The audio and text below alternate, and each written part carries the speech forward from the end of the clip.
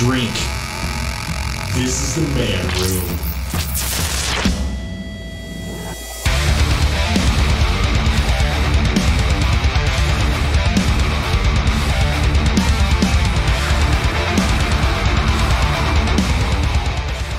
What's up, everybody? Welcome into the Man Room. I'm your host, Marcus Bridges. Thank you for joining us today for yet another episode of the podcast. You can find us everywhere you find your podcasts.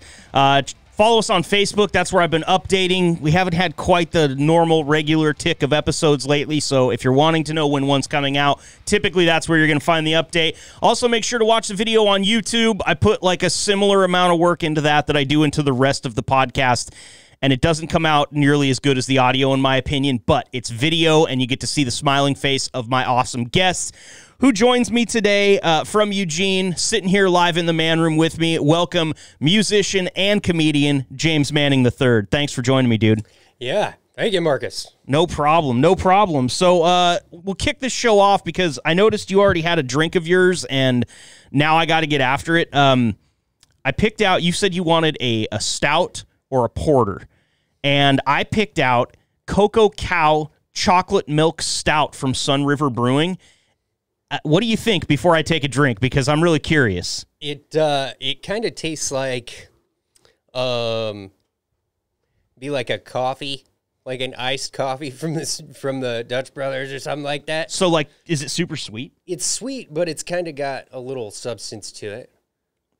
Oh God, it's almost like yeah, it's kind of like chocolate milky, kind of too, a little bit. I can get that chocolate milk that they're talking about. Yeah, it's that kind of chocolate. Uh, it reminds me of one of the drinks from Dutch Brothers. But uh, well, the nice thing about porters uh, usually is they don't have like a real strong aftertaste. You're right, right. They just kind of hit you and they're done. Yeah.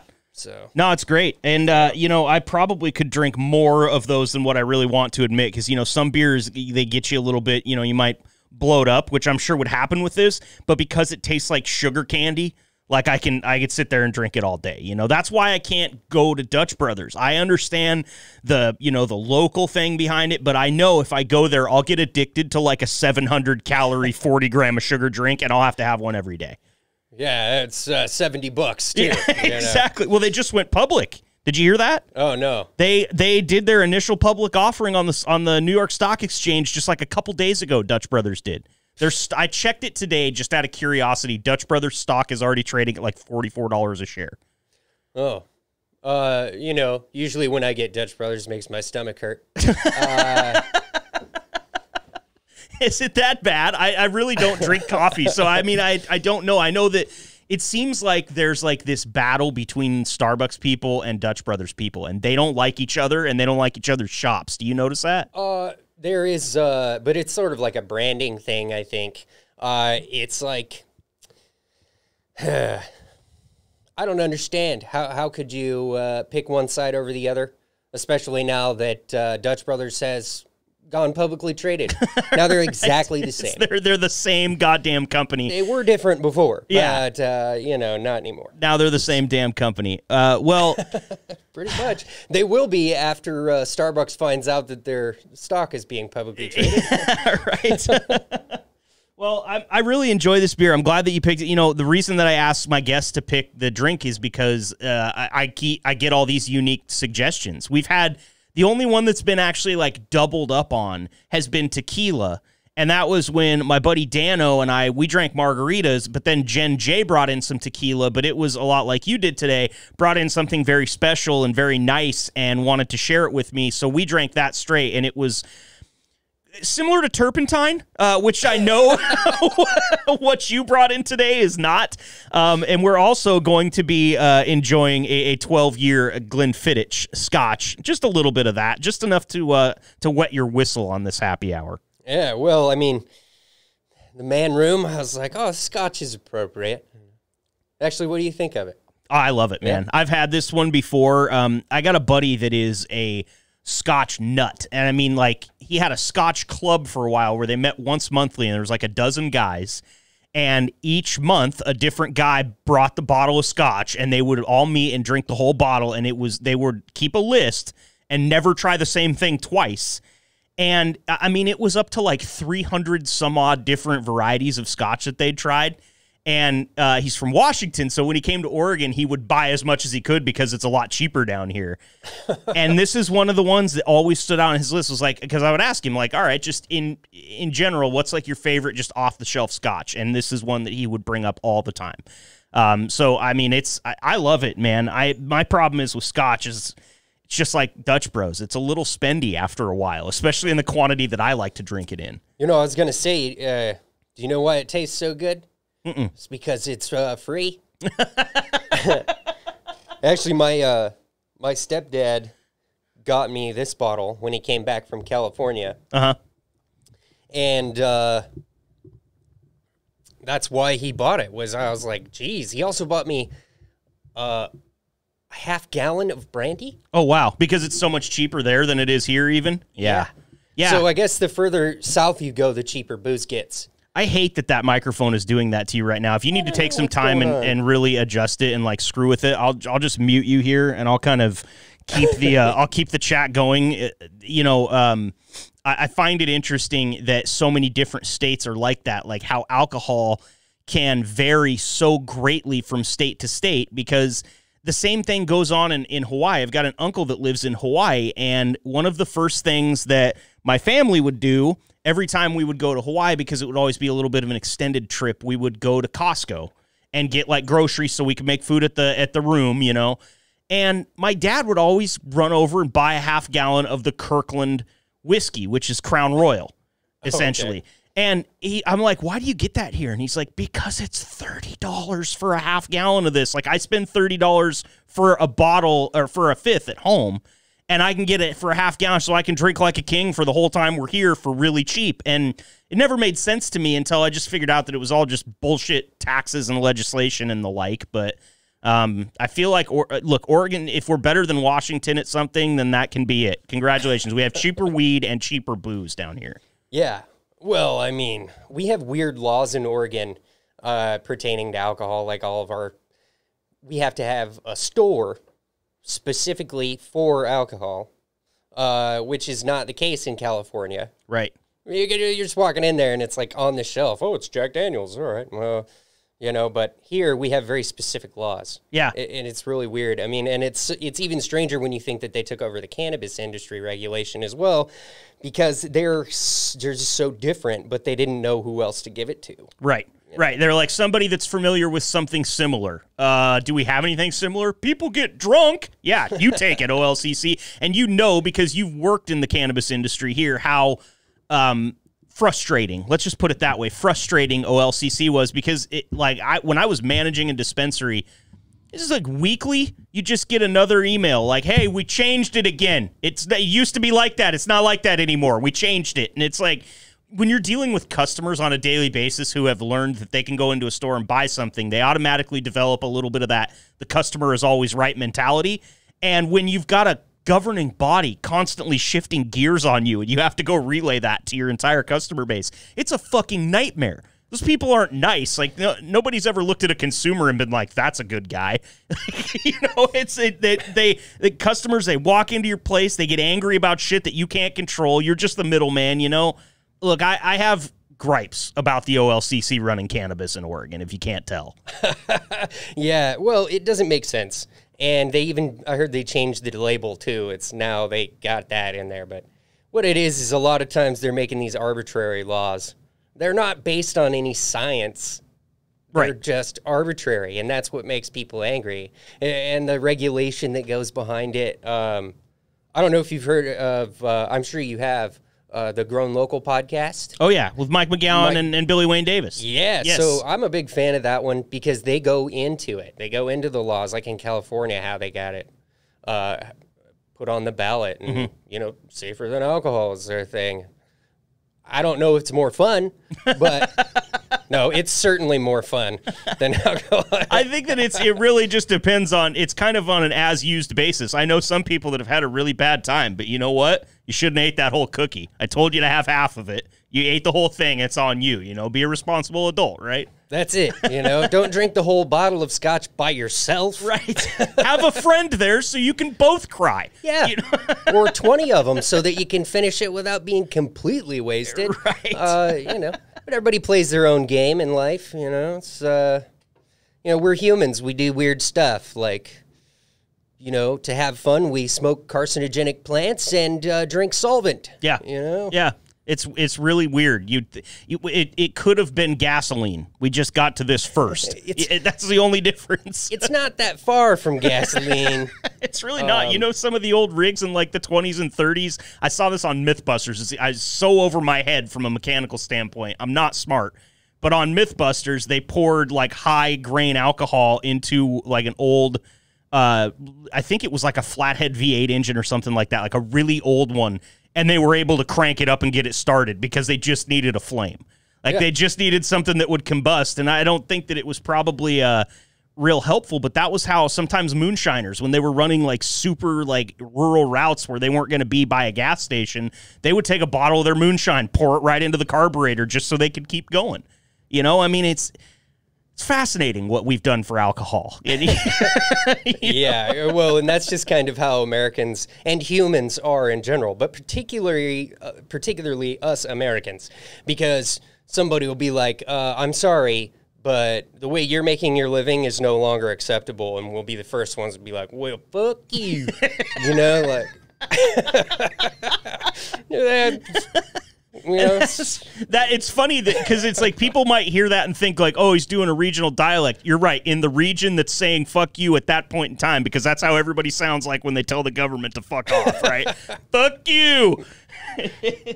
Well, especially if you're from where I'm from. Like, I got family down in Texas and Oklahoma, so fuck you Yeah. is a certain kind of, you know. Is there those those people will shoot back? That's yeah, absolutely. what do you do? You spend much time with your relatives that live down there in the in the Southwest? Oh, well, I have recently. I got to go back, and it was really cool because, like, I traveled at a time like I just got my vaccine. Uh, there was nobody in the airport. I thought I was going to be late everywhere I went, and the planes were delayed, and I got right through and was there for 45 minutes or something. Um, so I had a great time when I was out there.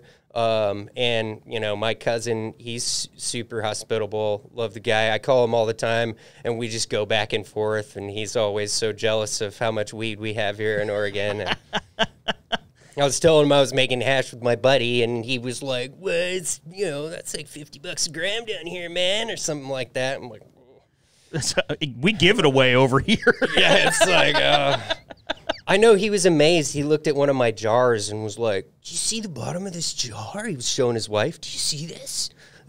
he was just like, you know, in the bottom. I'm like, "Yeah, it's an old jar." You know? Do you travel with it when you have to fly and stuff like that with with cannabis? I know that it's it's something that we Oregonians and us people on the West Coast have really um, I think a lot of people have gambled with because the TSA will tell you in Oregon we don't screen for cannabis actively. If we find it, we'll take it from you, but we don't screen for it. We don't look for it. And every time I go through that metal detector, I'm sitting there thinking about my bag that's on the belt and I you know, I'll bring like vape cartridges of oil and I'll throw them in with my, uh, with my wife's makeup so that you can't see. It's like it looks like another little cartridge in there that she might use. But I'm nervous as hell, man. But I, I will admit on this podcast, which might screw it up for me, I do travel with it. because A, if you don't have it where I'm going, I'm going to want it. And I don't want to go talk to a guy that I'd have to buy it from on the street. And B, ours is is a lot better than a lot of places that you can go get it. So it's so much better. it's I, I hate to say that because people from out of state listen, oh, it's weed. What do you think? No, God, it's No. so much better here. Yeah, It's do you so know much better. That really good bud that was nice and green and crystally? You got that one time back in the day. Yeah, it came from Oregon. right? it traveled thousands of miles to get to you, and we have it on the bottom shelf next to a bag of, of, of just shake, right? And then you can keep going up from there. It's amazing. So do you do you try or do you not want to say? Well, no, uh, I actually I'm one of those guys that's super nervous about it too, and really it's not that important to me. Like I smoke all the time. Uh, d- don't get me wrong; it's No, I- very important. Wouldn't get you wrong at all. Like, But if I'm going to Texas, it's like meh, you know, I think it's okay. Yeah. I'm gonna I'm going into the place that they will get you. Right. They're looking for you. They'll shoot you for that shit there. It's they will arrest you for a nug next to your foot at a party, is what I've heard. And it's just like, it's not my nug, it's, it's on the ground. You're going Yeah. down, son. Yeah. You know, like they're very stringent about it there. But the strange thing is, is Oklahoma is has recently started their medical programs, and there's uh, there's things moving in that direction. And being someone who's visited Oklahoma in the past, I did not see that coming. they're still real boomer sooner down there, aren't they? well, some things never change. No, it's that's great though. I mean, I see it. Look, sooner or later, the federal government's going to have to address this, and with the things that are going on in government these days. I would suggest legalizing cannabis as simply optics. Just if you want the country to kind of like you more than what they do now, everybody's approval ratings in the shitter. It doesn't matter what side of the aisle you stand on.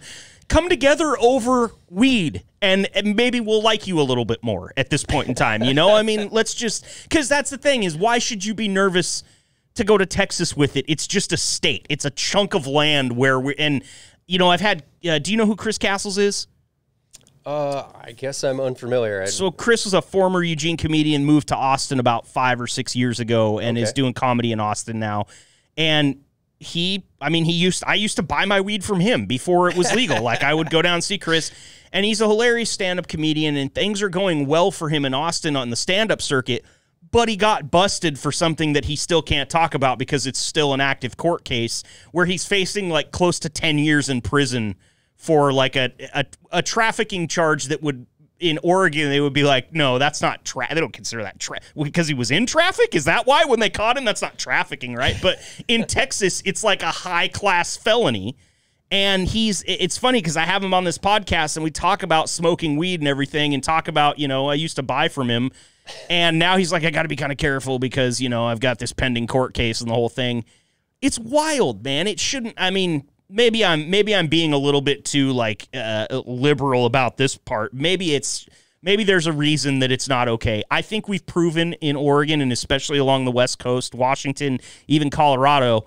Uh, that people aren't running naked through the streets. Nobody's losing their mind at this point. You know, if anything, cookie sales go up and crime goes down a little bit, from what I've heard. So yeah, I know. Now there's a lot of uh, you know older couples that decide to have pot and pizza night. You know, well the thing is, is like yeah, we keep wondering: is there are they going to find something that's wrong with it? Well, the government has sponsored uh, study after study after study trying to Trying find to, right. and have been wrong every time. They cannot find really anything.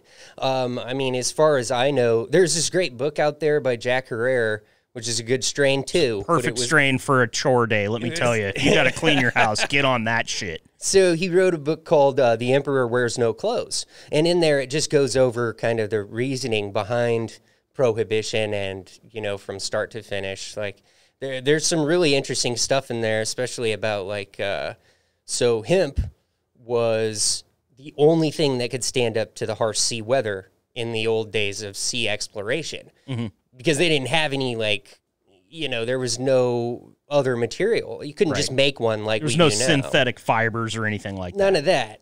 Uh, there was only one thing really, you know, hemp. And it grew like a weed. It literally does on almost every environment in the plant on the planet. Right. But without it, there would be no uh, sea exploration.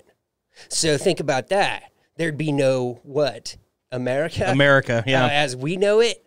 Yeah. and uh, you know, Oh, we'd be speaking Spanish, I'm sure. it could, could be. I mean, yeah, because they were they were kind of conquering around that time and but everything. they like- had to do seafaring travel as that's well. true. That's true. So you know, there's just a lot. I'm kind of a history nerd. I like ya? this stuff a lot. I love it, dude. I, I if I say something stupid, correct me, please, because I love like the History Channel. Honestly, before it jumped the shark and became like the Ancient Aliens channel, Disney? I really, yeah, I really enjoyed the History Channel and like just hearing about like you'll catch me sometimes just watching a documentary about a fucking rock in the desert, and it's because it's like, well, there's historical significance to this rock. That's what I like about it. this rock here in Eugene, Oregon, is a very specific rock. and we are here to talk about it today. That's a very good. Is that James Attenborough? Is that who it is? A pretty good. It's just one that I've developed over listening to them over time. Uh, it's funny because you're right. No, they have a very specific cadence. Documentary presenters, especially nature documentaries and- and history documentaries, they can't just run away without you. They got to give you a chance to internalize those words and make sense of them before they just go, right? oh, a lot like comedy. Yeah. That's one thing about, and I'll I'll see. Is have you ever done any comedy in Texas when you've been down there? no, but I have plans to Okay. because cousin lives in Dallas. So there's plenty of comedy clubs. I'm like, oh, and if I got a place to stay, that's the way to do it. So Exactly. the works. well, I asked I asked Chris Castles about that. I'm like, what do you see in the difference between you know when you were doing comedy in Eugene and when you were doing comedy in Texas? He's like, oh, the Texas crowds are way dumber. And so he was just just flat out with that, just like kind of spit it out. And I was like, do you mean that from like, are you being like ironic and saying like because it's the state that it is? And he's like, no, honestly, like people are just generally a little more drunk, a little more dumb, a little more aloof. Sometimes you got to let it sink in a little more. And it's like, man, that. I mean, I'm not saying that I don't like the Eugene crowds, but that sounds like it might be more my type of crowd. I might connect with them better because I'm dumber. You know what I'm saying? Oh, I, I couldn't know what you were saying more. I mean, I hate I hate that, but it's true because one time another comedian said that I do great with a place at a place with hay on the ground. I think is how she said it. And I wanted to be mad, but I knew that yeah, you're right. You know, like I'll go to Texas because I, I can do my you know redneck material down there. I know it's gonna fly Yeah. you know, here and in Salem, people aren't sure about you. Right. You know, Yeah, you get too redneck here, they start to think about uh, certain words to call you that might end your career, even if you didn't say one of those things. let me just say that that's kind of something I've found in comedy too. Like you can mess with people's perceptions of you, and that's going to change the way they take your what you're saying. So I know that I'm dealing. I'm, I'm working with like a defect here. I know that people are already making assumptions about me, but I think that's true with almost every comedian. It's just that we're also self conscious that you know you have to process it a little more and in Right. different ways. But me particularly because I'm just like a tall white dude with a big red beard, like. Yeah, well, I was walking into a grocery store one day, and a lady asked me, she was like, "Have you been in the woods? Y- Is the fires bad? Are they getting close?" I'm like, "No." It's kind of a random thing to ask somebody, lady. Did, I mean, did you have like soot around your mouth or what was it? No, I just look like I'm coming out of the woods all the time. Oh man, that's funny. And she just asked you that. I wonder what people want to ask me. I've, I've, because I think about that. You know, one of my openers that I do on stage sometimes is about the way that I look. And one time I wore a collared shirt to tell jokes about me dressing the way that I do in my mind, and I realized it's like I'm not dressed like that tonight. They're looking at me and they're not making sense of this shit. But I want to know so bad what goes through people's heads when they see me, because that lady kind of she she gave you a peek in behind the curtain. They think you look like you walked out of the woods for some reason, which I don't get. Well, there there's also uh, some people are not very happy with those who would identify as redneck. Oh yeah, and I true. would say that that is totally founded. Because I've know- been against it, like I've been up against them dudes, and it's like, yeah, you're you are an asshole. It's like no wonder, dude. It's like I, I'll work a little harder to make sure people don't know I'm one of them. I'm one of you. I'm, I'm with the crowd here. Yeah, it's all right. sure, sure. I grew up very rural and in a in a town where, and I call it a town because two thousand people is all, and it, it- in the state of Oregon, but could not be less the state of Oregon that that people from outside of Oregon see. You know, people see basically the I five corridor in, in is Oregon. You know, it's Portland, Salem, and Eugene. There's the beautiful coast, but they don't really associate that with anything other than scenery. And then on the other side of the uh, of of Oregon's Rocky Mountains, the Cascades, that's where all those other people live. You know, and and I did grow up amongst those people, and I, I will say this: I've some of the rednecks that I know are the biggest assholes that I've ever met in my life, and will honestly make you question if you knew that there were assholes that big in the world. also some of the rednecks that I know, all of their convictions aside, some of the nicest, most kind people that I've ever spoken to would give you the shirt off their back and an acre at their farm to to have a cow and grow some corn. Just get on your feet, you know, that type of thing. So I sometimes find myself ha- from just a selfish standpoint like man, I know rednecks that aren't assholes. But at the same time, one bad apple spoils the bunch. There's a lot of bad apples in that bunch. So I, I also know rednecks that are assholes. I try not to get uh, fed up with it. I, I, you know, you can only you can only fight so many other people's battles Well, in your you life. know- so As an apple, uh, I just choose to hang out with the oranges. you know, it's uh, and, and in Eugene, you can get dragon fruit and papaya and all the exotic stuff, which is cool. So oh yeah, any type of yeah, whatever you're looking for. You know, it's uh, just go down to the Whiteaker and spin around. You'll if, see if it you down look there. hard enough, you might find that mung fruit. Mung fruit. What the hell is that? Uh, I want to say that mung fruit is this fruit that it's very pungent. It is like extremely stanky. I might Oh. be incorrect, but there is like this one particular fruit that people like to eat uh, from the region, region that it's native to. They just it makes their eyes water and it smells horrible, but they just love to eat it. Like Good God. That's almost like us taking shots of like well liquor, isn't it? It's like just a pleasure thing that nobody can understand unless you're living it. Oh, a pleasure thing. I'm not sure about. Uh, it's like here, drink this old crow, James. Like. Why? Is it for charity? They're- yes. Yeah, it's always Okay. for charity. Old crow for charity. As yeah, let's have a, a sip of good beer and we'll smell a scotch after that. Oh, does it smell like old crow? No, it doesn't. No, Wonderful. we're drinking good shit here. I, I it's funny. We were just talking about this region. I have a buddy who that's his that's his drink. Old Crow and Wild Turkey. He drinks what he calls the Dirty Birds, and that's it. That's his whiskey.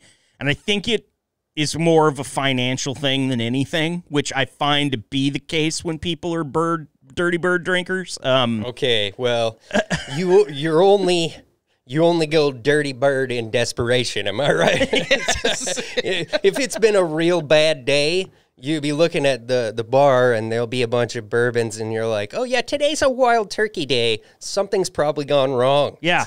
or you're just like, I don't have a place to sleep tonight. I need to get arrested. Wild turkey. Because I've seen some, look, I've seen some parties go off the rails, and I feel like it was all Wild Turkey's fault. Like all of it. Like you three that did that shit were all passing that bottle around earlier. I know it's correlated. Well, remember, it's fifty percent. Fuck you up. Right. It's Fifty percent. 10% more goodness, if you will. Yeah, well, it's just, uh, yeah, you know, you got to pay attention to how much you're imbibing if it's a hundred proof. Right. Yeah, I remember I, I got into some hundred proof brandy for a while. It's really good stuff, but you do have to remember that's a hundred proof. Exactly. it's Exactly. wreck you if you're not careful. before my wife and I got married and we were just dating, um, she went through a phase where she would just be like, "Yeah, I just really like this Smirnoff Black," because she, would, you know, like all college girls, she's drinking vodka. Really like this Smirnoff Black. What what is it about the Smirnoff Black that I like so much? And finally looked at the bottle. It's hundred proof. You like it because it's higher octane and you're getting where you want to be quicker. You don't have to drink as much of the of the shit, you know. And and it's funny because she, I don't know if she ever noticed. I think she did. I, I'm I'm not sure if that's why she liked it. I could not drink the shit. Like it's like it tasted like gas to me. And I anytime you really get over 40, like there's a couple things that I can do. I've I've drank Everclear once or twice in my life.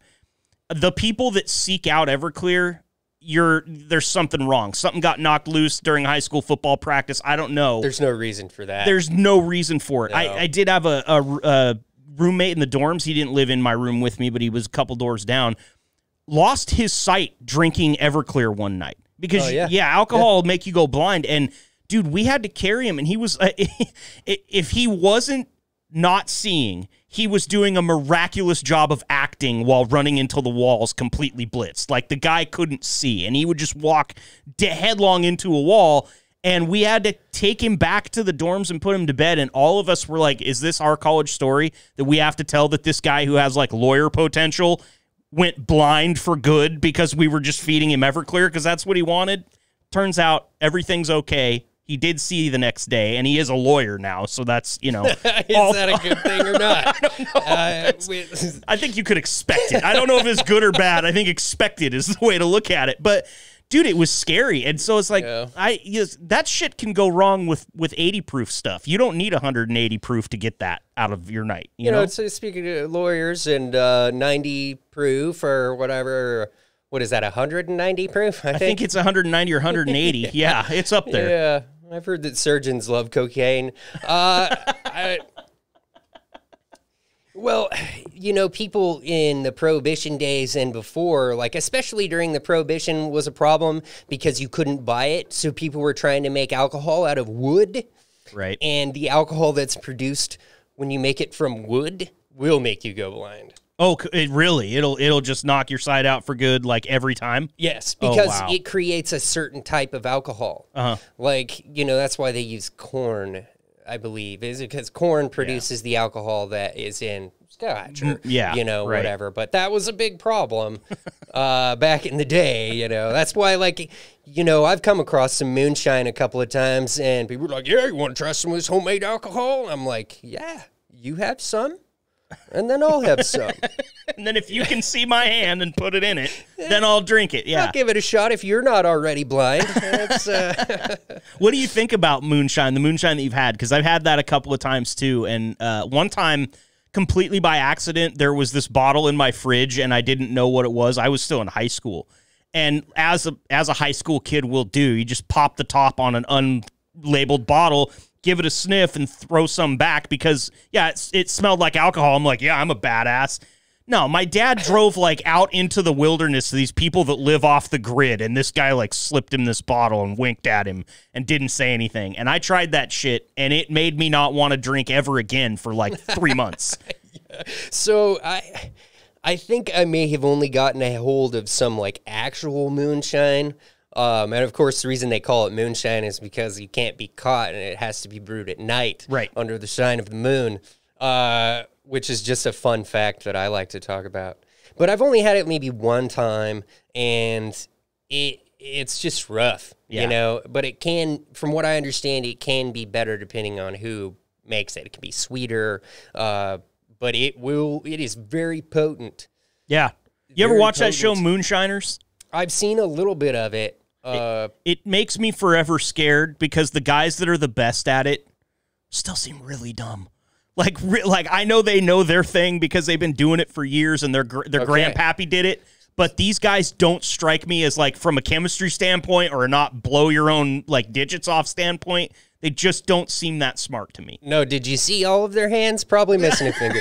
But not necessarily smart in that way, right? So you have to be smart in a different way if you live out in the woods Right. and there is nobody around. This is also why I think some guys get a bad reputation is because they maybe spend a lot of time alone and don't talk to people. So when they do, they start going off like I'm in the truck or something, Yeah, you know. it's just your internal monologue, but there's other people there.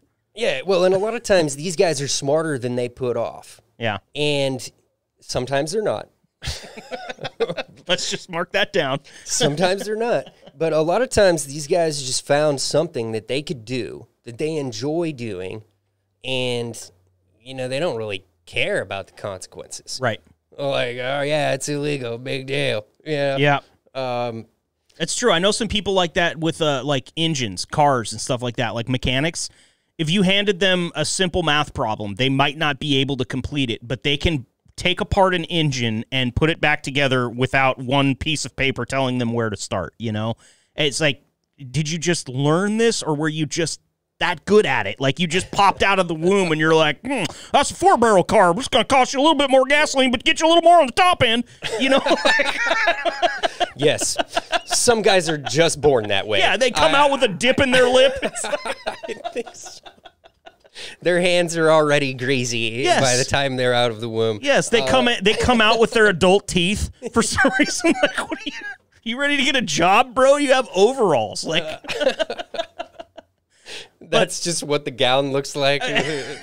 Just little overalls. He's in the incubator with the rest of the babies. Carhartts, just the little ones, you know. Yeah, that one there, he's redneck stock. We got to treat them different, you know. He'll bite you. Right.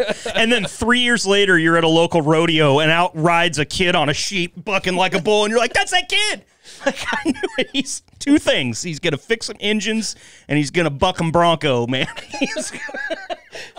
That's something I have never really understood either. Like, I admire that uh, a lot of times these guys that'll get on the on bulls or uh, broncs or whatever and just and ride for the thrill of it. Just, yeah. all right, buddy. Pinch this bull's nuts and I'm gonna go. All right, and they like that's what they do and they love it and they got to be tough. oh, real know? tough. And uh, I mean, I'm not getting up there. Uh, no thanks. I'm not way, even one for riding horses. I mean, I, I love horses, but eh, I don't want to ride them really. It's just not something I'm into. But I guess that's just uh, how some guys are. It's just like, all right, this might kill me, but let's do it. You know, Yeah. I don't know. I mean, for some things, I'm okay with that. Like I've been, you know, I, I I've been parasailing. You know, I could have fallen out of that. I guess. Like I, I, there's not much that I do that's that dangerous. I mean, literally, the most dangerous thing I do ever is get on the belt line in a car, and that Oh, yeah. right there is like you're risking your bacon every single time you're driving on that fucking road. So that's probably my most risky thing. But I've known some of these guys that rode bulls and and actually tried to compete.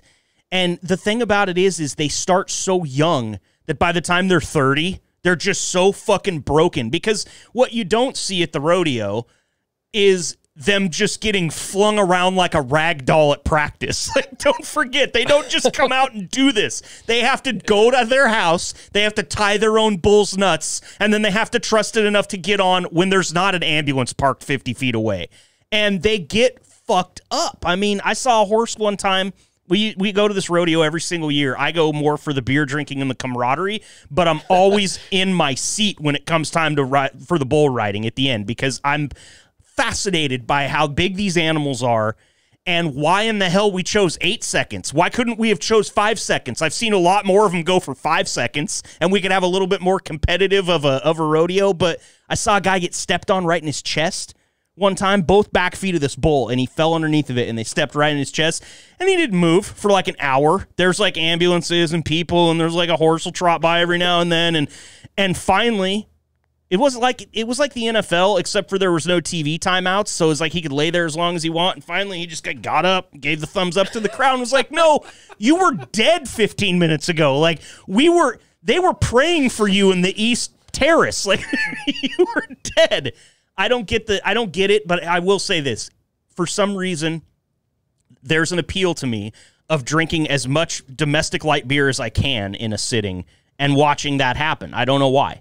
Uh, maybe be, I think it's because a those guys are on the bull because it's what they love to do, Yeah. And it's entertaining for everybody else, you know. And that goes back to centuries old traditions of the Colosseum and the Roman games, Right. And those know. poor fuckers didn't get the choice. They're just like, ride that bull. No. Oh well, I don't even Off know with if the they. head. I don't know if they've gotten to the point where they were riding it, but there was like crazy stories of like a legion of Roman soldiers who fought like thousands of bears or something like that. You know, just like Jesus. crazy stuff. They would have actual. They would fill. They would fill the Colosseum with water and have naval competitions Yep. for real right there. Uh, you know, so it's it's part of us. They even had uh, colors. Like there was one where they were talking about chariot races, and th- there was an inscription that they had found. And the guy was like, "Curse the red team, and I hope they die, and maybe they not come back for the." You know, he was like the green team or something. You know, and that was thousands of years Right. ago. Right. Way back. So now, yeah, it makes total sense. Yeah. we were talking about that the other night when we had a beer. Like, that's kind of that barbaric feeling in a football stadium that you get where it's like I, I, I what I said to you at the bar is like I don't I'm not a fighter. I'm five nine. I'm not that strong. Like I just am not the guy that needs to be in a fight. But I'll fight a whole fucking football stadium of people dressed in a different color than me at a football game. You know, and it's you're right. It's it's in my blood, going all the way back to the very roots of the family tree. Yeah. Well, I mean, if you think about how important the the games were to Rome, and it was all a political thing, uh, you know, and it there the Roman Empire throughout the time that it was a thing. Well, the empire and before that, when they're a republic, there's there's a bunch of different phases of Rome. Oh yeah. Uh, but the games and spectacles were always very important. I mean, and they, they still are today. And you think about what they're what they encompass. So Spain, France, England. I mean, all the way to Egypt in some cases. Uh, so like that's all of Western Europe. I mean, Right. Germany, Poland, all of Western Europe. Uh, so we evolved later on to be what we are today. So those things that happened to our ancestors thousands of years ago kept on in oral traditions and and still in like a social atmosphere. Right. So right. we deal the same things today, like fighting at, at soccer games. People just lose it. I mean, every and you you can read about it in in antiquity is whoa they just people just start burning stuff down once in a while. You know, right like and you could take a number from the people on the soccer field because the you know one place i've never actually seen a like a real true punch get thrown in like a high level professional match i think is soccer because they fight the shit out of the stands the people in the stands fight all the time you step on somebody's toe out on the pitch and you get carded and you get sent away and you know, nobody ever gets real violent out there it's like you see violence all the time like a football game if there's not a punch thrown i'm like well this is kind of a boring game you know hockey they allow it. It's like it's in the rules. Like you can fight, just don't fall down. We don't want anybody to get hurt. Yeah, it's So like I'm not sure if that guy. I heard that that was like an unwritten thing where it was like a a pressure valve sort of deal, where it's like you know these guys are gonna play seven games against each other in the playoffs Yep. and stuff. Yeah, we ought to let him go because, like, I mean, by game four, that guy just keeps sticking you. You're gonna be mad at Oh, him. yeah. and then game five rolls around, and you're like, one more time, and that motherfucker, and that's what happens. Yeah, Eh, eh, And hockey's one of the few sports that's seen somebody that commit a an act in it that's actually been prosecuted. Did you know that?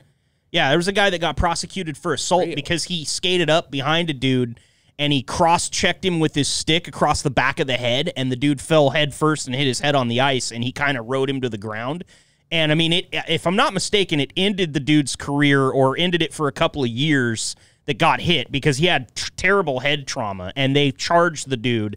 Um, I'm not sure if it was in Canada or if it was in the United States, but it was in the NHL. It was uh, the it was the player that got hit was on the uh, Anaheim Ducks, and it was I mean, but it was crazy because there was so much talk about you know how the sports media will blow a story up if there's ever a reason for it. This one was all over ESPN for weeks, and there was a lot of talk about well, like should they? I mean, if a baseball player decides to go and rush the mound, if he takes the bat out there you're probably going to charge him, right? I mean, if he's if he's throwing hands and it's just you know it's Nolan Ryan and Barry Bonds and we're going to fight this out and then the benches are going to clear and everybody's going to get pulled apart, nobody's going to jail. But if Barry Bonds takes the bat out there and beats Nolan Ryan to a pulp with it, probably assault, right? Maybe with a deadly weapon, yeah. well, it, it could be. Uh, uh, I mean, I think intent is what what they're looking for. It's like, okay, obviously this guy didn't just check him; he checked him all the way to the ice. Yeah. you know that's a little bit more. But uh, you know, it's funny we're bringing up like all these spectacles, like even in basketball there's been fights that have broken out and like each one of these seems to lead to that. Mm-hmm. It's like eventually these big sporting events because like the immense amount of testosterone required to play sports i mean not necessarily do you need to play sports but required to compete on an incredibly high level like that leaves some of these guys just jacked on it Yep. all the time Yep. and it's like unnaturally jacked i think because you play sports you need that Yes. you know No, you're right. Um, Neal Brennan has a great uh, director of the Chappelle Show and stand-up comedian has a great bit about it where he's talking about back when Ray Rice hit his girlfriend, punched her in that elevator, and then drug her out, and there was the footage of that whole thing. And he's like, "Eh, sometimes I think that people they just their job is violence. You've got he said, what does he say about a football team? You've got uh, two guys that can catch the ball, two guys that can kick the ball, and then twenty eight like murderers basically. And he's like you you get caught up just like go to practice do football go to the game do football go out with your girlfriend do football. Oh son of a bitch i wasn't supposed to do football there. You know and and i think that's what you're speaking to is like your job is violence especially on a football field. And you talk about the nba did you see that uh, malice in the palace documentary Uh, no. it's on Netflix right now, and it's part of a documentary series. They're, I can't remember what it's called right now, the series, but they're the same ones that did the Caitlyn Jenner one. Um, I think it's called like ah, I can't remember, but it- you remember the Malice in the Palace with Ron Artest, and it was uh, in Detroit, and somebody he was laying on the scorer's table, and somebody threw a drink at him, and he ran up into the stands, and it was like a full on like two basketball teams and a full stadium of people all punching each other for like a good 15 minutes. and um, they did a whole documentary about it. And it's like there's people that are viewed differently because of that day. And like they found the guy that threw the water and he got charged because he started the whole thing. And like it's an amazing documentary. But when you break it down, you like sit here and talk to all the people. Like one of the guys that is one of the most um, involved, Stephen Jackson, looks at the camera at one point in time and says, "The last time I'll ever fucking talk about that night." So get that on tape. And it's like, and this has been 20 years ago, and it's still that intense in his mind, and still something that he. You got to watch it, man, because it's it's one of the few that involved players fighting fans. And it's not something that you see very often because most fans look like me. Five nine, a little bit doughy, and not in a spot where they belong anywhere near a court unless they've got popcorn and a beer. That's just how it is. Um, but in a, it's an amazing documentary, and it. I mean, I, there were some people that got absolutely wrecked that night. Jermaine O'Neal, uh, it was a his power forward for the Pacers there's a guy just like kind of this chubby dude in Detroit gear walking up to him all fast, and they're on the court at this point. This is like towards the end of the brawl. And he squares up and hits this guy so hard mid stride that the guy just does the splits. and he just crumples. And the thing that you don't understand is if he connected a little bit better, that guy who was maybe like 35 probably would have died. Like that one punch could have killed him, no question. And so it's not as funny as what I make it out to be but watch the documentary because the guy's fine. So it's when you see that hit, something about it, man. It has staying power. I remember it like it was yesterday. I was watching that game because it was a. I think it was no, it wasn't a playoff game. They had just the teams had just played in the playoffs. Detroit beat Indiana and won the title the year that Indiana thought Reggie Miller was going to go win the title, and so they played each other like the first month of the next season. And it's like what you're saying. It's that he was sticking me for that entire fucking playoff Yeah, series. It's just like, oh, you can't take it. You know, well, and then it comes to the fans, like, you know, they probably deal with a lot of annoying fans in general. And then all of a sudden, what's that water? Uh, something completely harmless. You know, it's over for you, buddy. Yeah. And then what is it when one person starts, and then all of a sudden there's a bunch? Like, I remember going to like some sort of local cage fight, you know, and it's not long before people are out fighting out front. Yeah. Like, okay, it's just something that people do. They get amped up and start with the, I'm going to fight people. But it's like you said, man, uh, even one punch is enough. So, from a six foot eight monster, you know, from somebody that doesn't, you can't comprehend the size of these men until you've stood next to them. And and I just as somebody that used to cover college sports, I stood next to a few Oregon Duck football players that didn't even go pro and was just like, "Good God, you're a monster." Well, it's not necessarily the the monster. Like, so I'm a taller guy. It gives me an advantage hand to hand. But I know for sure that even though Bruce Lee was nowhere near my size, his skill overcomes any advantage I have. Right. So it, it doesn't matter who you are. Like if you have skill, that skill is more important than any advantage because you're never going to be able to beat skill. It's Like, true. you know. It's true. So Which you- is why I carry this adage of you shouldn't be fighting because I don't Never. you don't know who that person is. That person might have never thrown a punch. They may have thrown 10,000 of the same kind of punch and learned it really, really well. And it's now what you could consider a knockout punch. That's Bruce Lee, man. Exactly. Ten thousand, uh, and it just comes down to the the last bit, which is like, you know, that's why uh, people who are nonviolent are often strange to us. It's like you don't believe in that at all. right?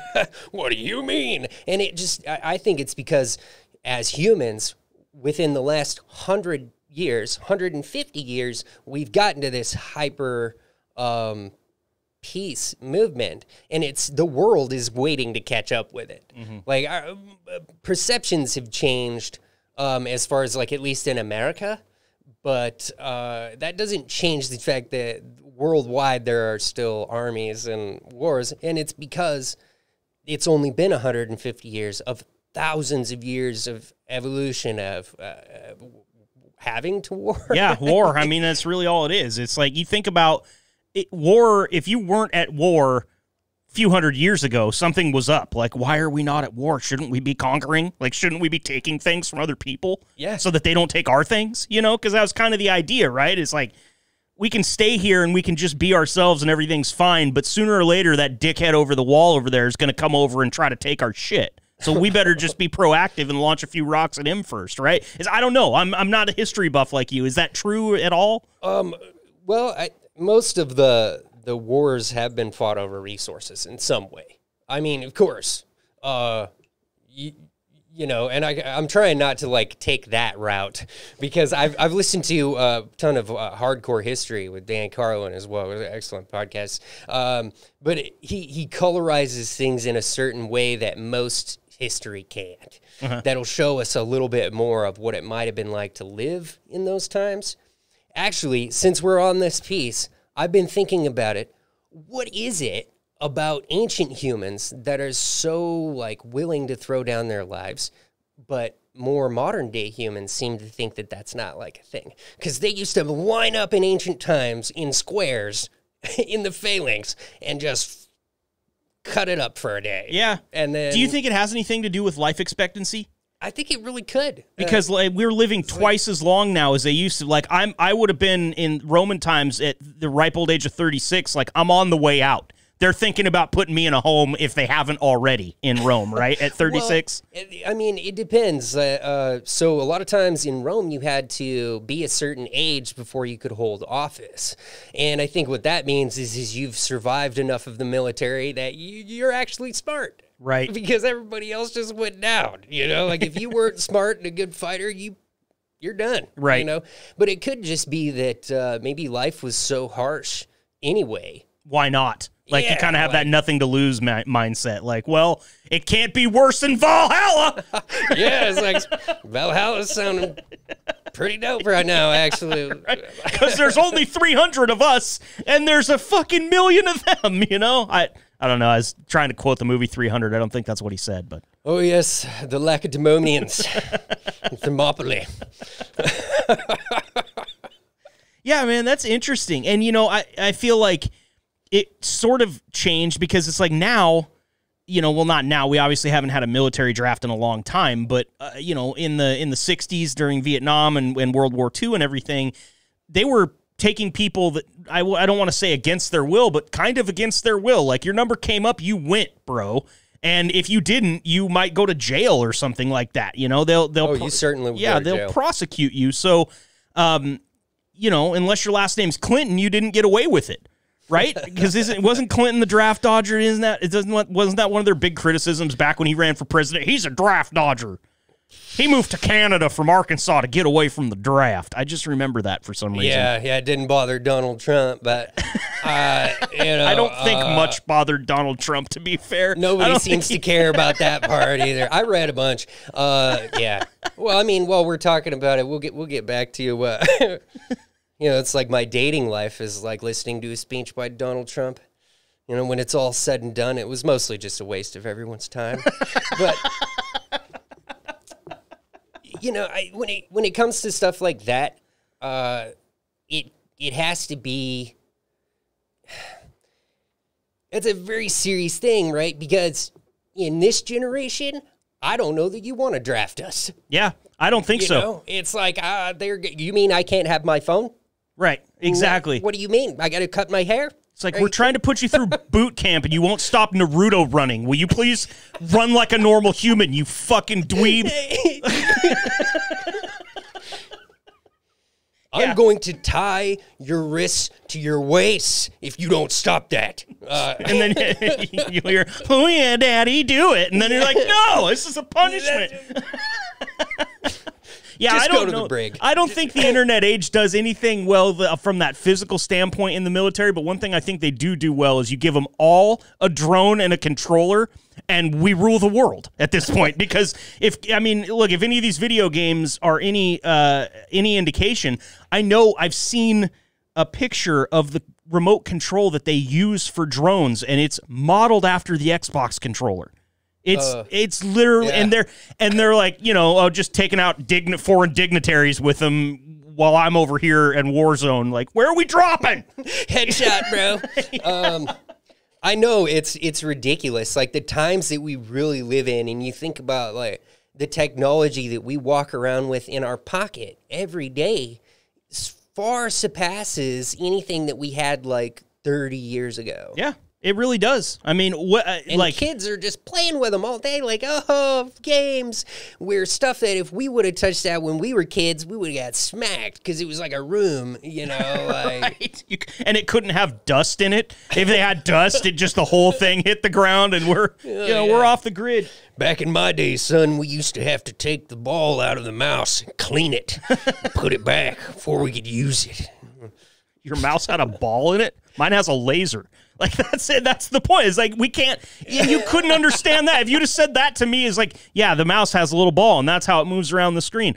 Well, we'll just put a laser in there. My head would have exploded in, in junior high. I wouldn't have been able to comprehend that, you know. And it is funny too. I think about all the time, and I know that this is a trope that a lot of people have have uh, beat on, but I think it's very telling, and it's a it's a sign of the times, like you just said, that we live in. We grew up. I, how old are you? I, uh, do you mind? I'm 33. You're 33, so you're right in the same generation as me. I love to mess with comics when they ask me, though. I'm like, "Mm, I don't know. I'm not going to tell you. Yeah, I don't give a shit. My age is. I- one of the least most important things about me, and it's really the one thing that calls it out. Is if I take my hat off, you'll see that I'm balding. but other than that, you know, we grew up in the age in school where we said, "Why do we have to learn how to do this? This graphing calculator has all the equations in it." And the teacher said, "What? Well, you're not going to have a graphing calculator in your in your pocket when you grow up, are you?"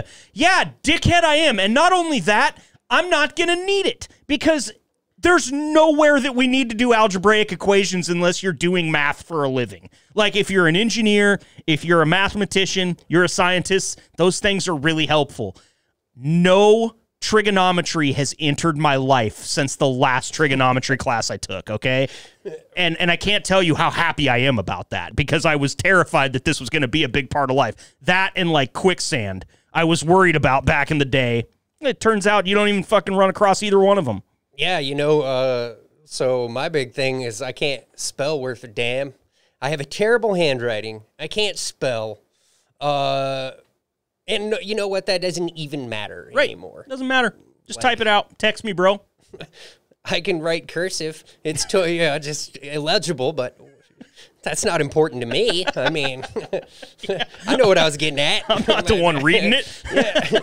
Well, see, I just need to see like a little bit to remember. You know, it's Yeah. my- it's like my own language. Uh, people, uh, like on my on the show that I do, that uh, I'll have you on uh, next week. Yes. I hope. And I want and we will do that next week and I definitely want to talk about that. So it's a great segue. So keep going. Well, you know, it, it's just about. Uh, I don't even know what I was talking about. What was I getting at? Uh, spelling and your handwriting. Spelling, yes. hmm this comes up. Uh, we were talking about weed earlier. We're covered. Uh, well, like sometimes the guests will try to read my cards because I write questions on them. You know, uh, interview style, like a Letterman or something. Right.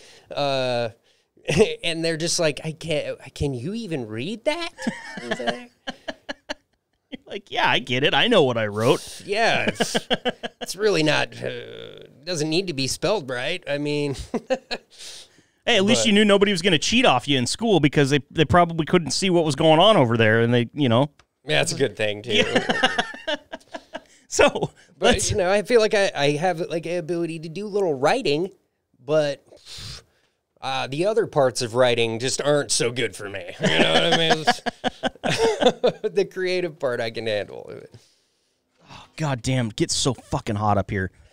Um, I do want to talk about kicking it with James Manning because there's a picture right now. If you're watching this, you've seen a picture of James Manning in last uh, week's episode, Chris Green, and the words "kicking it" between them, and probably wondered exactly why that's been up on the uh, on the video the whole time.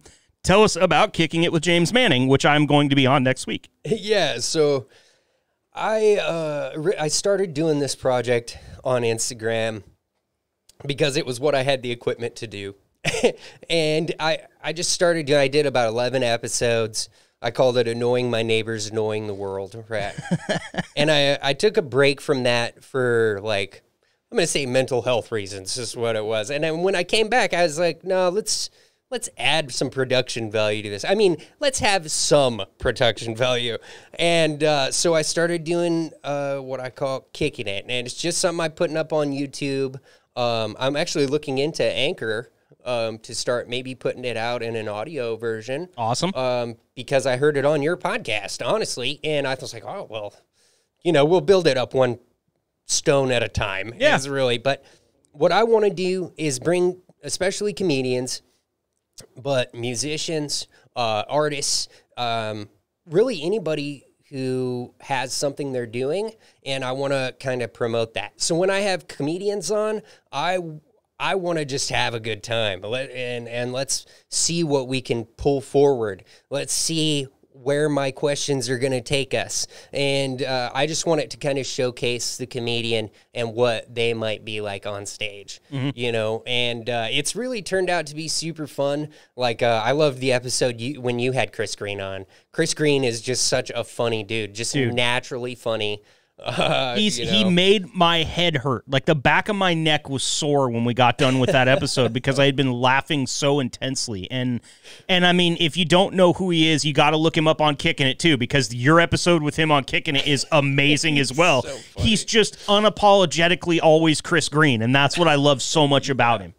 Yeah, and I, I recently just put up the second episode, which is David Ledbetter, another Eugene comic. So and, funny uh, too. He's he's great, yeah. and I, I haven't watched the entire episode, but I've seen him a lot on stage, and he's just talented dude. Oh yeah, he, he's got this truck joke. He, calls it the redneck bat signal, and I'm like always, I'm like, come on, Dave, you gonna tell the the truck joke? Come on, let's go. You know, I love it so much. But uh, yeah, we had a lot of fun, and uh, yeah, really looking forward to seeing what strange conversation goes on. Um, because I got questions for you, Marcus. I can't do. wait. I can't wait. And I'm actually, to be honest with you, I'm kind of glad that we did this one first because this is so unscripted. Like I know that you, I knew I wanted to talk to you about kicking it with James Manning, and I knew that I wanted to talk to you. But other than that, I didn't. Really, I used to prep a lot for him. Some of the authors and the smarter, like the people that deal with smarter things that are over my head, I have to prep for them. When I have a comedian coming in, I'm confident that you're good in conversation, especially because I had beers with you last week. But I'm confident that you're good in conversation, and I can't tell you how excited that makes me because I really just like to talk to people. I, I can't. I mean, if this podcast has proven nothing else about me, um, and trust me, it's proven more. You just need to listen closer. Uh, the flaws are there; you'll find them. but I really just like to have interesting conversation with people, and I I say this a lot too. I get to talk to people that do cool shit, and you're doing cool shit. You know, you're also a musician. We haven't even touched on that yet. Uh, the last time I actually saw you perform, you did stand up comedy and played music that same night, which, uh, from a nerve standpoint, that would have melted me into a puddle. So I'm glad that you can you can actually handle that type of uh, attention and and uh, pressure in a night. But um, as far as as your musical ventures, as far as your stand up goes, obviously we'll get into the shows that you have coming up, but um, you're just kind of kind of just out there honing your craft, yeah, working on your stand up, doing shows when you can. Yeah, you know, and I've kind of, I've really taken a step back. Like, I, I just didn't want to really push stuff yet. Like, you know, things were going on. There's a spike and none and none, and I just kind of haven't felt like I'm ready to go out and start pushing these shows um, because what I want to do is I really want to do a comedy showcase first, and then play some songs afterwards, and just keep people hanging out who want to hang out. And uh, I mean, because really, when it comes to music, I'm a campfire guy. Yeah. I grew up around the campfire, uh, learning to play songs that my buddies would enjoy. And uh, that's what I try to bring into the bar. It's a little harder when you do that because you have a stage and it, you know the interaction is a little different. But um, But I noticed that in Yeah. your song selection. Every song that you played after the stand up show, I knew.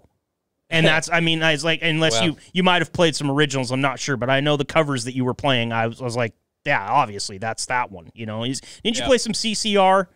No, No, it wasn't CCR. Who was it that you played then? I knew somebody that you played. Oh yeah, was- well I do. Um, so I do my originals, um, but usually my originals and my dad's originals.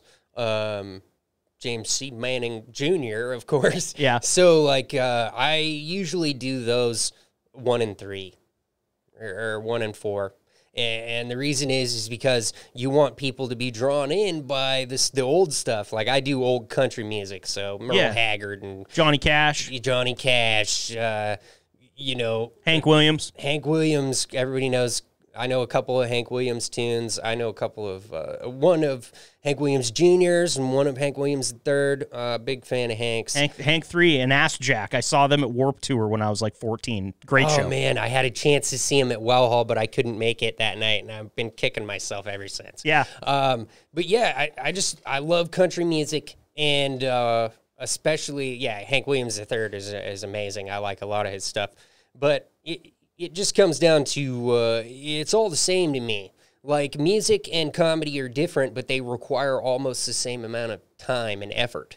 Um, but they're both very fun, and they're just fun in different ways. And I, that's why eventually I'd like to start doing the combined shows Sure. uh, because before the shutdown and everything, I had five or six shows lined up that were like a mix of comedy and music, and uh, I'm I'm really looking forward to starting to book music shows again. I think in in November is when I want to start, um, but I just It's hard, man. Yeah, there's no way to there's no way to quantify how long it's going to be, and you don't. I mean, look if you turn on the news, that only makes you less excited about when the eventual end is because it seems like it's further and further away every day. And the other thing is, is uh, yeah, you know, as a musician, everything you do is exactly the same. So you practice, practice, practice. You get there, people can like it or not. Right. Uh, usually they do, and if they don't, they're probably not going to say so. With comedy, you can practice as much as you want,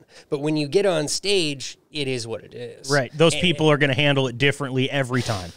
and you have to deal with like you know things that pop up like maybe there's a, a dog in the audience all of a sudden or a mouse runs across the stage or who knows uh, so th- that's what i love about comedy too is just that they're completely different performing aspects but they're the exact same kind of art almost Mm-hmm. Yeah. it's just an entertainment thing you Right. know? It's a performance thing. Yep. yeah It's you know you wouldn't know this by looking around the room. You're sitting in front of a Lagwagon poster, and you're sitting to uh, my left, your right of a Blink 182 poster. There's a Foo Fighters poster uh, on your other side. I'm a I'm a punk rocker and a and a skate punk and pop punk and uh, ska and you know hardcore and metal is the stuff I listen to and I enjoy to play as well. But my dad uh, grew up with four brothers and their dad, my grandfather, was the only drummer in the family, and all the boys played guitar. And quite well for a couple of them. Like I have a couple very skilled uncles and my dad who can can. Ri- in fact, that's my dad's Ibanez guitar sitting over there in the case. I don't know why he gave it to me because I suck at the guitar. but I I decided to pick up the drums after my grandfather died and before I knew he was a drummer. And I didn't know, but they come to me like later on in life and they're like, "Hey, we used to have." Like a wedding band. Like we would play weddings all up and down the coast of Oregon. Um, you know, your mom played tambourine and your aunt sang, and all the boys played guitar, and and grandpa played drums. And so they'll get together still in their 70s and late 60s and like they'll all meet like once a year and invite a bunch of other musicians and they'll play all that stuff that you're talking about. They call it country and western. and they've got a three-ring binder of songs and it's all the people you just mentioned and more. They play a couple Animals songs, they play a couple Beach Boys songs, they play Wipeout, you know, like little fun stuff, but they never invited me because during college and everything it was like, how many wristbands can I put on? I have three belt buckles. I'm so punk rock. You know, they never would have asked me. And then once I finally grew up a little bit, they're like, "Do you want to maybe leave some of that kit at home and just bring a couple cymbals and a couple of drums and play with us?" And I did it once, and I fucking fell in love with it. I, I did the music. I had heard the songs before, but they weren't anything that you would ever find on my playlist. And then I sat down and I tapped along with them, and we're not even playing them the way that they were written. We're playing them the way that everybody can can play them, and everybody can play along. And you know um, they're they're simplified a bit, is how I'll put it. And even that, like it, it's just a it's just a bass snare, bass snare for me as a drummer that's been playing for twenty plus years. But I just the the feeling that I got being in that group of people was very special, and so that music that you're talking about holds a very special place in this weird punk rocker's heart because I, I, mean, that's the stuff that if I'd have listened to around my friends in high school and they have heard it, I'd have been chastised in public for because I thought you were the rock band guy. I thought you were the dude that knew all the new music. Like, no, I Johnny Cash is fucking good, you guys. Like, just listen to me. yeah. But I, you know, you had to keep that shit inside. But um, I really, I enjoy it, man. I there's, do. And there's been a lot of punk rock tributes to uh, country music. Yeah, there I has been. And and I really think that it's not necessarily about what genre. It's about uh, it's a storytelling art, you know. Uh, so a lot of country music these days turns people off. Like I tell people, oh, I'll play country music. You know, they're like, oh, I don't like no country. I'm like, you don't like Waylon and Johnny Cash? They're like, oh no, I like oh, that. You don't like Brad Church? Y- you know, whatever. Yeah, it's just yeah, like because that it's formulaic. Yeah, I think these days, any the the radio country uh, just tends to be they know what makes money and they're going to go after it. And that's not what it's about. I think, eh, you know, any real good music, it doesn't matter what genre you're in, it's got to have some soul. It's got to be you. It's got to be what you want it to be. And, uh, you know, people are always going to tell you, oh, you should do that, you should do this, or, you know, what joke you should tell. but uh, most of the time, no, don't listen to that. Just do what you like because originality is what people like. Yeah. I yeah. mean, that, that's what I'm most drawn to uh, when it comes to maybe people I'm actually interested in, in in life, or maybe just something new. But it's it's the fact that they're being original, and that's what's cool about comedy. That's what really got me was that you can't just do cover tunes. Yeah, you can't do other people's jokes. Yep, I mean, true. Well, some people try, but you're not supposed to. That's good. yeah, it's it's like this strange art form where it has some very specific rules that are unwritten. Yep. Like hockey. Yeah, exactly. Once the guy falls down, no more punching him. Okay. You know, and that's the same with comedy. It's like, all right, your jokes are supposed to be yours, and it's because they're so personal. Yeah. You know.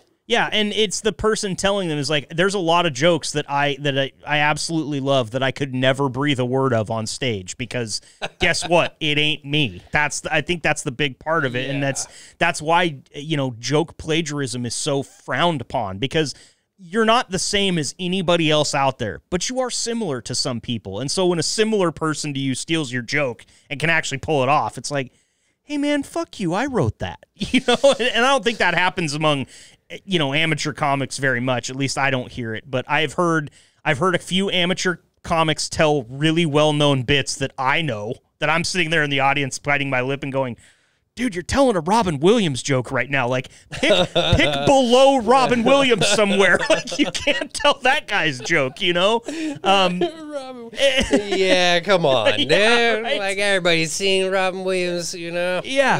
Uh, but I've also seen some that tell, like, maybe something I heard on Pandora that is a little less well known, but I hear it and I'm like, dude, that's word for word. I know. And, I actually it it happened recently at a show and somebody had that I know asked me like, "Hey, how was the show?" And I said I thought it was great. There was just there was one guy that told a joke that I kn- I happen to know belongs to like a touring club comedian. It's on Pandora. You can find it on Spotify like it's out there. And he was like, "Well, who was it?" And I didn't know that the two guys knew each other. And I said, "Well, it was this this comic," and he's like, "Oh, I know that guy. I'll say something to him." And I was like, "God, no! Not you don't tell him I said that shit. I don't want him to fucking hate me over it, you know." But it, the thing was though, is I like if I was doing that, even if it was on accident, because I listened to a ton of stand up comedy, I think I would want somebody to tell me, like, dude, you're you're you might have accidentally done it. It might not have been purposeful, but you're telling somebody else's joke do you would you want to know if that happened to you accidentally or if you just kind of stumbled upon it Oh, like I wrote a joke that somebody else has already done. exactly Yeah, I would want somebody to be like, "Yo, that's that's been done." i hope know? that that guy felt that way because i don't i definitely don't want to mention him and i don't ever want to say who where what why when any of that but when i told like the mutual friend he was like oh i'm telling him i was like god damn it I, kind of god damn it i don't know that i want to be that guy like i just don't want to be the bearer of bad news it yeah, good bit. whatever. You know, It- it- comedy is so weird, man. It's so weird, and that's part of it. Is the fact that you have all these like old, maybe like cliches in your head, or like there's one that comes out all the time. It's like, oh, I do comedy because I can't see a therapist. You know. Yep. Those kind of jokes are like vaudevillian. They're kind of public access. Public domain now, yeah. Public domain, you know, because there's not really a set writer to the joke. But when it comes to being a comic, and if you write a joke that works every time, I mean, those don't come along every joke. Right. You- not everything that comes out of my mouth is worthy of saying again. And to get one that does work and have somebody else take it who's more famous than you, obviously you can't. You've got no, got no recourse yeah got nothing. Right. You know? Yeah. It's eh, look, I mean, I don't claim to be talented enough to ever say anything that other people are going to want to steal. So I don't think that part of it's going to happen to me. I think I'd probably be more susceptible to accidentally telling someone else's just because I got too high one night and was like, oh, "That's really funny. I've never heard that before." Yeah, you have, asshole. That's why you wrote it. You know. Yeah, well, it's kind of like I I tell this joke so much, and it's weird. It's like as a comic, people will be like, "Oh, tell me a joke," and I've heard a lot of comics who are just like, "I hate that so much." No, I keep them lock. I keep them lock and loaded. Just like, all right, you, yeah, I got a couple for you. It's like fishing. Why do they call it fishing? It's because hooking was taken. And I've just heard so many people come back at me on that joke. Like one dude was like, I love that. I'm telling that at fishing camp.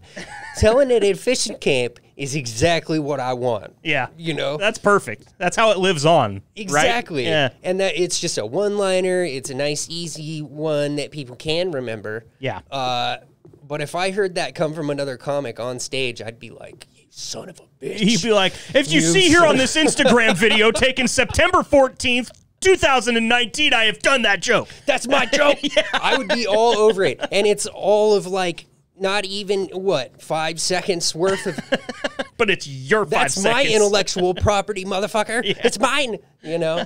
That would move me to tears if someone but if like I saw that on a Netflix special. No. Can I tell you the one that I keep locked and loaded in case any because people don't I don't walk around like I'm a comedian. People don't really ask me that. Nobody's really said in a long time. But it comes up in life. Tell me a joke, you know, and but I I have one and I do it almost sarcastically because of how much I hate when people ask that. Like if you want to see me be funny, I'm up on stage. Come to a fucking show. I'm not in your living room doing stand up, but my and and please use it if you want to because I didn't write this shit and it's stupid. But somebody says, "Tell me a joke." I go, "All right." Two muffins are in the oven. One muffin looks at the other muffin. He goes, God damn, it's hot in here. The other muffin goes, Holy shit, a talking muffin. Booyah. And that's it. And you know what? It's stupid. And if you laughed at it, I appreciate the charity. But I know that people don't like that joke. And that's why I tell it, is because I don't want you to ask me to tell a second one. Because guess what? There's not a second one. Like, Yeah. you know what? There is a second one. Two cakes are in the oven. You know, it's, I don't. I, I'm not that interested in, in like the be funny on the spot thing. That's I think part of that is because I love conversation so much, and I feel like there's a billion opportunities to be funny in any conversation if you're that guy. yeah. And that's probably what I'm going to do because I seek approval. So don't make me parade up here like I'm busking on the street. You know, Okay, come on. don't take this the wrong way. Like I do the same thing, but the what I do often, I've done this a whole bunch. It's it's kind of ridiculous. is I- I'll just start throwing off Mitch Hedberg jokes. Oh, You know, okay. I tell people like these are Mitch Hedberg jokes, but here you go. Little one-liners that are easy to remember and Yeah. hilarious. Yeah. And and he was like the a legend among comedians for doing the one-liners. And uh, you know, if I want some honey, I don't have to squeeze a plastic frog. You know, it's like. but the thing that people don't get about stand-up is that when you're on stage and you're crafting the joke you're doing more than that you're also crafting the audience like you like for me i need to overcome that perception of is this guy asshole redneck or is this guy cool redneck Right. like yeah, you know there's one more in uh, one category and less in the other but uh, you know that's what we have to deal with Yeah. and when you're on stage you can work that you have a little time, you can move things around, and you can become funny depending on what you think is going to work and what gets laughs and what doesn't. But when you're telling a joke to a random person or just someone you're standing next to you, it's just not the same. Right. You, you don't have that same criteria. Anything you come up with is fine at that point. Right. Because there's no yay or nay. It's like, oh, this is my joke or it's not my joke. It's almost like we should take the power away from them as comedians and say, listen, if I was up on stage about to tell this joke, I would have gotten to feel the audience out first. So I'm going to need you to fill out this questionnaire, and uh, I'm going to get a little touchy. Okay, we're just going to feel the audience here and make sure that everything is where I want it. Then I'll tell a joke. or a little more like, okay, well, uh, you know, let's talk for 10 minutes. Right. I think in 10 minutes, I'll be able to find something that I can remember is funny. Exactly. yes. In conversation, I'm great. Just put me on in conversation, and you might laugh. If I'm trying too hard, you can tell me that too. Like, yeah, right. oh man. So uh, before we go away from comedy, because we're talking so much about it right now, you have a couple shows coming up in October um, up north. You're going up to Washington to do some stand up. Yeah. Um, so I got invited to be a part of a couple of showcases up in uh, so Seattle at the Jewel Box Theater on the 22nd. There, it's uh, in association with uh, association with Eugene Comedy Crescendo. Uh, James Blame uh, invited me to come and do this showcase, and uh, I believe Tim Curry is the headliner that night. Oh, wow. And- but I mean, we got uh, Tyler Jones is going to be on there, another Eugene comedian. Um, it's really uh, kind of the biggest show that I've been a part of, uh, so I'm pretty stoked about it. And then we get to do another show in Puyallup uh, the next day, um, and also another big list of comedians on that one. And I'm just super happy to be a part of it Yeah. because being able to get stage time in a different place is uh, it, it really helps me on my goals to maybe becoming a full-time comedian someday Right. Yeah. know? And developing those connections and, and being, you know, next time you go up there, it'll be twice as easy as it is this time to stand on stage in a different city, right? Because, I mean, honestly, that's how I feel. It's like every time you're in a new spot, you jumped over a hurdle. All right, I can do stand up in Harrisburg, Oregon now. I've done it. yeah. you know? yeah well you know uh, i was in Keizer and didn't really go over but uh, i did it it was i did my best to win them over and i learned from that uh, that's so yeah i'm hoping that i don't horribly bomb on those shows but uh, I, i've been working hard on the material and uh, you know there's more um, open mics coming up to give me a chance to uh, try stuff out like I believe what is it Thursday? I think tonight we got the uh, fight mic at the Drake there in Eugene. And now I know that's called the fight mic. Is there actually like do do you do like battle stand up or is it like a roast or anything or is it just normal open mic? Yeah, so it's like a it, it's a normal open mic, but you're invited to roast the hosts, and the hosts will write roast you, Oh, okay. so you, you That's- can roast that's back. great. I love And- that. Yeah, it's fun. Um, and it's just another opportunity to get out and do comedy, and that's what that's what comedians need is more stage time. So uh, yeah, I, I pretty much show up wherever I can, anywhere Sure. they'll let me. You know, I've been trying to look for those places with hay on the ground. Yeah. Uh, you know, Well, that's awesome. Well, uh, check out Eugene Comedy Crescendo on Facebook. Also, check out James on Facebook. Um, Instagram, I know, is where a big deal is. Uh, you got a James lot. Manning the third. James Manning the third, and then your YouTube is also James Manning the third. James Manning the third. So I will link all that stuff in the description of the show. So if you're uh, listening to this and you want to know directly where you can watch episodes of Kicking It with James Manning or see any of the hundreds of things that you've put up on Instagram, I'm sure. I don't know about. Oh yeah, well pictures. Sure. I did one that was recent. That was real good. That went over real well, and it was pictures of me uh, showing my clean bathroom Oh, and my sink that was not full of dishes. nice. Uh, really went over well. you know, that's like. I was like, I think that we'd do better as men if we sent pictures like this instead of dick pics. So yeah, go go check the pictures. It's really been working wonders. yeah, because you can insinuate then without being too on the nose. Like, hey, if my kitchen counter's this clean, imagine what other things in my person are clean. You Just, I'm, you know, we don't have to go too far. don't deconstruct I didn't. it. I didn't take pictures of my bedroom. Uh, just, it's not very impressive. Is the thing. It's, it's not as. It may be as clean as my toilet, but it's not as sparkly white. You know, I don't know. Not as much porcelain in your bedroom, I would hope. You know, I've been I've had that on order for a minute. Uh, Dude, James, I, so I asked everybody this. How long do you think we've been going? Oh, geez, I don't know. You want to take a stab? I'm. Uh, I have no idea. I would say f- forty-five. Really? See, we uh, it's almost an hour and a half right now. We're hour and 25 minutes. No, it's, I ask people because I want the conversation to feel like you haven't been here for an hour and 25 minutes, you know, and that's the most important thing for me. But dude, thank you so much for coming in and joining me. I can't wait to do Kicking It with James Manning. That will be out uh, within a couple weeks, maybe three weeks or something like that. I'm not sure what your lead time is on those, but we're going to record that next week.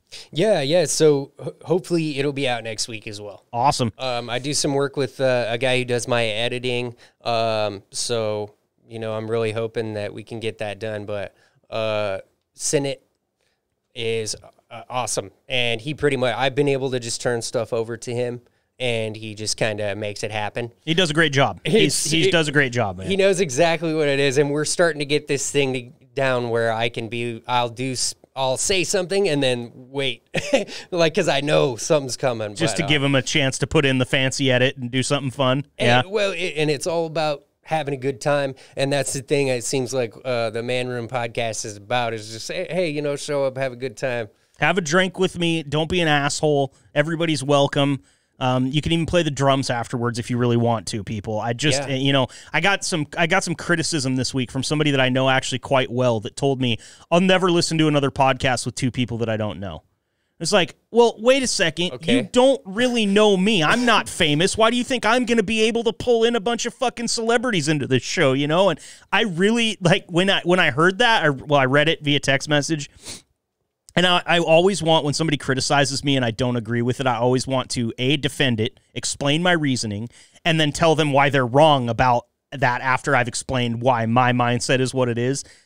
I that one I didn't even entertain. Like I get to talk to so many fucking cool people in this room and it has really been a lot of fun, dude. And you're just the next one on the list and we're going to do it again because everybody that I've had in here has just the pure and simple fact that you're here means you're invited back. Okay? So anytime you got something that you want to promote, anytime that you have something new coming out or a show that you want to get a little extra traction behind, let's talk about it and let's just come up and have a drink and have a good time, dude. And I really appreciate you. You've been a lot of fun.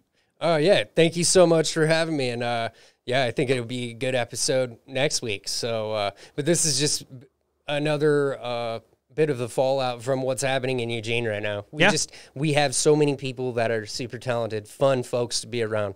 Um, so yeah, glad to be here, man. Thank you so much. Yeah, and to the person that criticized me, move to fucking Eugene and you'll know all these people, dickhead. Yeah, I'm never gonna watch another movie with two people I don't know in it again. yeah, it's like good luck naming all the cast of Avengers, you prick. Yeah. Oh, Oh, man. I'm You know, and a I little- just want to say thank you for having me here today. It's a special day. It's uh, National Don't Be a Dick Day. Did you know that? I didn't. no. yeah. Every day. Oh, yeah. I got okay. it. Yeah. All right. See, Boom. Tell me a joke. That's why you have this guy at your parties, James Manning the third. Everybody, we'll see you next time.